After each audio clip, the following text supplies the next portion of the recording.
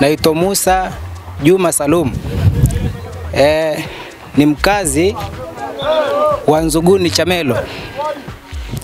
Historia hapa kidogo ulikuwa na usinga sana, ilikuwa ni pori kubwa, ulikuwa na wanyama humo ndani wakali, nyoka zilikuwa nyingi sana. Wakati sisi muda huo ndo tumehamia huku, kulikuwa ni pori kubwa sana, lakini namshukuru Mwenyezi Mungu kwa kuanzishwa mradi wa nyumba elfu tatu na mia tano unaotekelezwa na wakala wa majengo hapa Tanzania TBA.